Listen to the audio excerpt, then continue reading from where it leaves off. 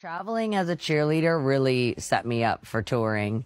Like the show or the competition may only be a day. And that's what people don't really understand about touring is the show is only 90 minutes, but that's your life. If you're performing at a certain level of intensity and excellence, there should be an equal amount of recovery and rest.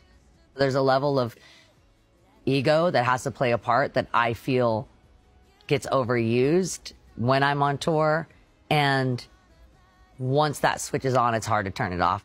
And I think when you're training your ego every single night to be active, that's the hardest switch for me to turn off. Having every day the relationship between you and other humans being subject and observer isn't healthy for me because it erases my humanity and my connection. And without my humanity, my connection, I can't be a songwriter, which is my priority.